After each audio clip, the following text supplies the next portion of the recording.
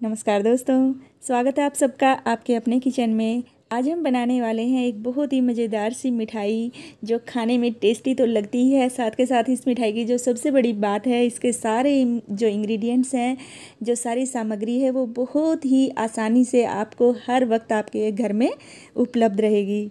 इसके लिए आपको मार्केट से कुछ भी लेके आने की ज़रूरत नहीं है, क्विक बन के रेडी हो जाते हैं। तो आज के लड्डू बहुत ही स्पेशल वाले हैं, साथ के साथ बहुत ही ताकत भी देने वाले हैं।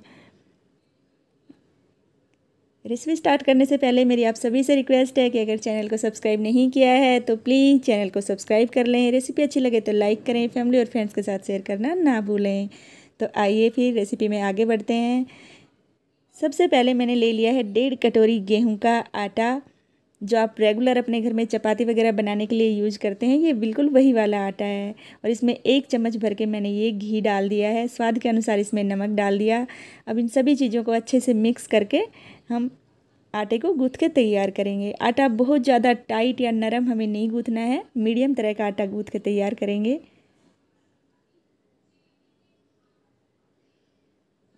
आटे में घी बहुत ज़्यादा हमें नहीं डालना है, क्योंकि ये जो लड्डू हम बना रहे हैं, इनमें घी बाद में जाएगा। तो आप शुरू में सिर्फ़ एक चम्मच के करीब ही घी डालें, जिससे कि जो हम इसकी रोटियाँ बनाएँगे, वो सॉफ्ट बन के तैयार हों। आटा हमारा गुथ गया है, इसको अच्छे से इस तरह से चिकना कर लेंगे। और अब इसको ढक के रख देंगे कम से कम पंद्रह बीस मिनट के लिए ताकि आटा आपका अच्छे से सेट हो जाए, अच्छे से फूल जाए। उसके बाद बहुत ही बढ़िया सी, नरम नरम सी इसकी रोटियाँ बनके तैयार होंगी। ये थोड़ा मैंने घी ऊपर से और लगा दिया है। और देखिए, हाथ और पराती दोनों एकदम क्लीन है। मतलब हमारा जो आटा है एकदम परफेक्ट जैसा हमें चाहिए, उसी तरह का बनके तैयार हो गया है। अब इस तरह से इसको एक जगह इकट्ठा करके इसको ढक देंगे।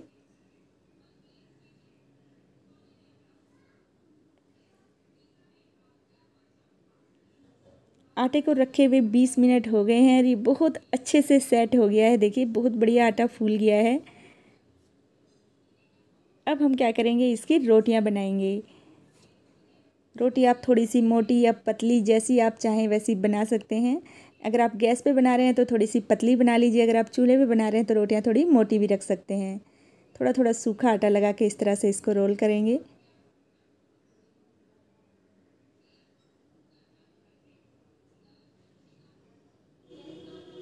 और देखिए बिल्कुल चकले पे बेलन पे कहीं पे भी आटा आप आप देख सकते हैं चिपक नहीं रहा है क्योंकि बहुत बढ़िया आटा हमारा सेट हो गया है।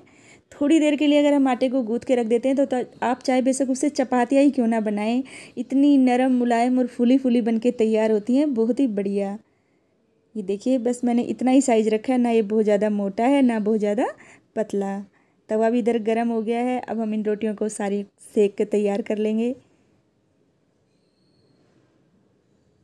अच्छे से रोटी को ब्राउन चित्तियाँ आने तक सेकना है। ध्यान रहे कि रोटी बिल्कुल भी कच्ची नहीं रहनी चाहिए। किनारों को भी इस तरह से गैस पे रख के हम सेकेंगे और सारी रोटी इसी तरह से सेक के हमें तैयार कर लेनी है। मैं ये लड्डू अभी ताज़ा रोटी बना के बना रही हूँ। आपके पास अगर बासी रोटी रात की भी बची हुई रखी है या फिर कई बार ऐसा हो जाता है ना कि रोटियाँ बहुत ज़्यादा बच जाती हैं तो उससे भी ये रेसिपी बनाई जा सकती है। बस आप रोटियों को फिर हल्का सा गर्म कर लीजिए तवे पे या गैस पे। और मैंने सारी रोटियाँ एक के बाद एक, देखिए, बना के इन पे थोड़ा थोड़ा घी लगा के इनको एक के ऊपर एक रख दिया था ताकि रोटियाँ अच्छे से नरम हो जाए। और अब आप देख ही सकते हैं कि कितनी नरम है, हाथ से ही कितनी आसानी से ये टूट रही हैं। आप इनको चाहें तो छोटा छोटा तोड़ के मिक्सी में भी पीस सकते हैं। लेकिन ये इतनी सॉफ्ट रोटी है ना, आपके हाथ को पता ही नहीं चलेगा और बहुत आसानी से ये देखिए, इसका चूरा हो जाएगा।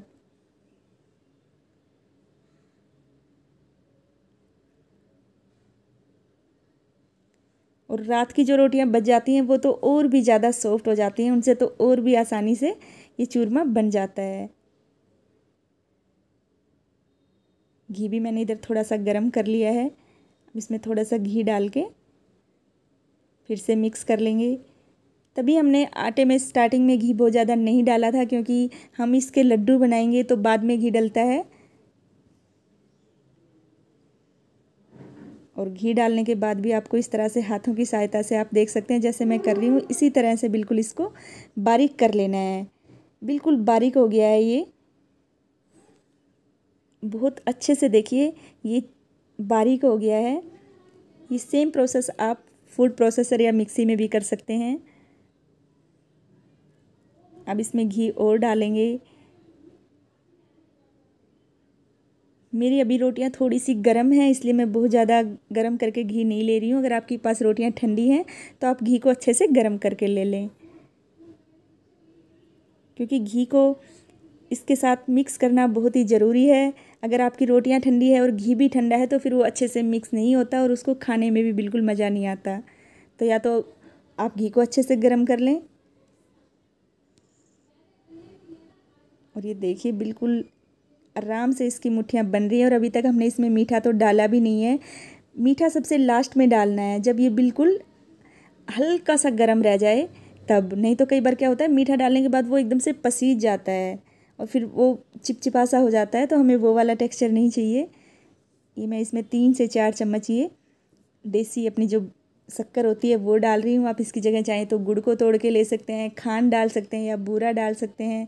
ये कुछ भी अगर आपके पास नहीं है तो आप चीनी को भी मिक्सी में पीस के इसमें डाल सकते हैं।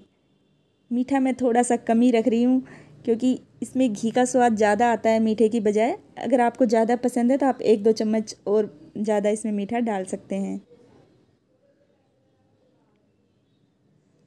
और यहाँ पे देखिए, कितना बढ़िया बन के हमारा ये चूरमा तैयार हो गया है। लड्डू बनने के लिए बिल्कुल तैयार है। इसमें आप अपने मनपसंद कोई भी ड्राई फ्रूट भी यहाँ पे ऐड कर सकते हैं। लेकिन घी का ही फ्लेवर इतना अच्छा होता है कि किसी ड्राई फ्रूट का या किसी फ्लेवर का इसमें बिल्कुल भी आप कह सकते हैं कोई ज़रूरत ही नहीं है। लेकिन अगर आपको पसंद है तो आप कोई भी ड्राई फ्रूट जैसे कि मगज के दाने जो होते हैं, काजू, बादाम किशमिश जो मर्ज़ी इसमें ऐड कर सकते हैं। और इस तरह से अब हम इसके छोटे छोटे लड्डू बना के रख लेंगे। अगर आप इन लड्डुओं को बहुत ज़्यादा लंबे टाइम के लिए स्टोर करना चाहते हैं तो जब जैसे ही हम रोटियों को चूर लेते हैं, उसके बाद एक बार आप उसको फिर से गैस पे कढ़ाई में एक चम्मच घी डाल के गर्म कर लें। ये वाले जो लड्डू मैं बना रही हूँ, ये मैक्सिमम चार से पाँच दिन ही खाए जा सकते हैं। अगर आप ज़्यादा लंबे टाइम के लिए चूरमा के लड्डू बनाना चाहते हैं तो फिर आपको रोटियों को एक बार चूरने के बाद फिर से गैस पे दो तीन मिनट के लिए एक चम्मच घी में भूनना है और फिर उन लड्डुओं को आप पंद्रह बीस दिन के लिए भी स्टोर कर सकते हैं। और सारे लड्डू हमारे बहुत ही मज़ेदार, टेस्टी से यमी यमी देखिए बनके तैयार हो गए। ये चूरमा के लड्डू हैं, हरियाणा के प्रसिद्ध लड्डू हैं, बहुत ही ज़्यादा टेस्टी लगते हैं, सभी को ये पसंद आने वाले हैं। और इनकी सबसे बड़ी खासियत, ये हमें ताकत भी देते हैं। तो कैसी लगी आप सभी को आज की हमारी रेसिपी?